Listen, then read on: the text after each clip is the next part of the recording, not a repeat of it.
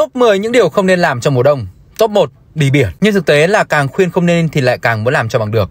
Bằng chứng là mình vừa có chuyến du lịch biển chấp nhoáng ngay trong những ngày miền Bắc lạnh nhất. Điểm đến của mình là khách sạn Perle d'Orient ở Cát Bà. Đi từ Hà Nội mất khoảng 2 giờ 30 phút và sẽ phải di chuyển qua phà. Đến nơi thì khách sạn phải nói là đẹp vô cùng. Trang trí tỉ mỉ theo phong cách Đông Dương và đặc biệt là rất hợp mắt các chị em. Phòng mình là căn góc, view chính ra biển, view còn lại hướng ra núi. Khách sạn có bể bơi không quá to nhưng đẹp. Nếu đi vào mùa hè được xuống biển chắc là thích lắm đây. Dịp cuối tuần đa số khách sẽ là những cặp đôi hoặc các gia đình đi nghỉ dưỡng. Với một nơi đẹp và tương đối dễ đi thế này thì đi biển mùa đông cũng không quá tệ, chỉ buồn thôi. Hơn nữa do Covid-19 nên spa và một số nhà hàng trong khách sạn không mở nên các hoạt động cũng khá hạn chế. Ăn uống mình thấy ngon nhưng lại không có nhiều món. Vì thế kết luận là đi biển mùa đông không đáng sợ, đáng sợ là đi biển mùa Covid. Còn bạn, nếu không đi biển, bạn sẽ làm gì cho mùa đông? Giáng sinh đầu tiên ở nhà mới của nhà Bùi sẽ như thế nào? Bà chủ nhà vốn ưa bày vẽ nên Giáng sinh đầu tiên ở nhà mới chắc chắn sẽ là mua sắm, chăm chút cho thỏa thích.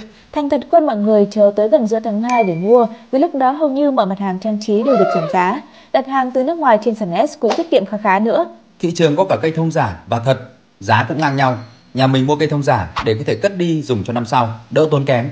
Cây thông cao tới 1m8, tán lá nhựa dày dặn. Lần đầu chơi cây thông không khỏi bỡ ngỡ, nhưng xoay vần một lúc và có tôm cổ vũ tinh thần nên cũng tạm ổn. Năm nay nhà mình trang trí theo tông đỏ nên chúng mình cũng lựa chọn những món đồ to nhỏ cùng tông. Điều may mắn nhất là em tôm ngoan không hề phá phách cây thông nên mình vô cùng yên tâm. Lần đầu nên cũng hơi vụng về, Hạ quyết tâm năm sau lung linh hơn sau khi xem đủ 7749 clip trang trí cây thông của người ta. Cũng đừng quên chuẩn bị một list nhạc Giáng sinh tạo mood cho cả gia đình nhé. Trang trí nhà cửa cũng là cách để thay đổi không gian sống, làm tổ ấm bạn thêm ấm áp và tạo cảm giác nhanh nhanh muốn về nhà. Cuối năm bận rộn chỉ cần dành ra một chút thời gian tự tay chăm chút. Lễ Tết rốt cuộc cũng chỉ là cái cớ tuyệt vời để chúng ta xích lại gần nhau hơn. Một cốc cà phê nóng, bật bài nhạc yêu thích và tận hưởng không gian riêng tư là mọi mệt mỏi cũng tự tan biến. Còn bạn, bạn đã tô điểm thế nào cho căn nhà rồi? Chia sẻ với nhà Bùi nhá.